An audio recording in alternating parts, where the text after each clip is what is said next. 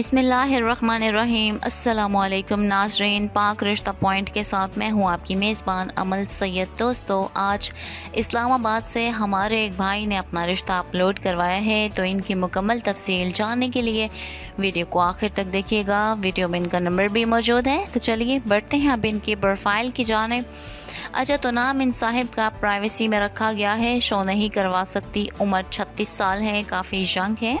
और प्रोफेशन के बारे में आपको बता चुकूँ। और प्रोफेशन के बारे में आपको बताती चलूँ तो प्रॉपर्टी का बिज़नेस है, इनका महाना अच्छा खासा कमा लेते हैं। इसके अलावा ये सऊदी अरेबिया में भी रह कर आए हैं, काफ़ी साल और अन करीब दोबारा जाने का इरादा है इनका वहाँ। और रहाइश के हवाले से आपको बताते चलूँ तो इस्लामाबाद के रहने वाले हैं। वहाँ इनका अपना ज़ाती घर है। किसी चीज़ की कोई कमी नहीं है। एक अच्छे फैमिली बैकग्राउंड से इनका ताल्लुक है।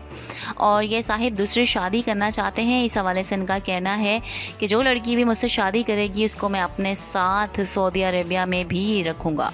ठीक है? बाकी जो इनकी रिक्वायरमेंट है नोट फरमा लीजिए। सबसे पहले तो उनका कहना है कि लड़की की उम्र बाईस से चौंतीस साल के दरमियान हो, इससे ज़्यादा ना हो। और लड़की जॉब होल्डर हो, ठीक है, पढ़ी लिखी हो। इसके बाद प्रेफर कर रहे हैं कि अगर बाहर के मुल्क से कोई लड़की इनसे रबता करे तो बहुत अच्छा होगा। और अगर बाहर के मुल्क से नहीं है तो फिर पाकिस्तान में कोई भी ऐसी लेडी जिनमें तलाक याफ्ता, खुला याफ्ता, बेवा शादी करना चाहती हैं रबता कर सकती हैं।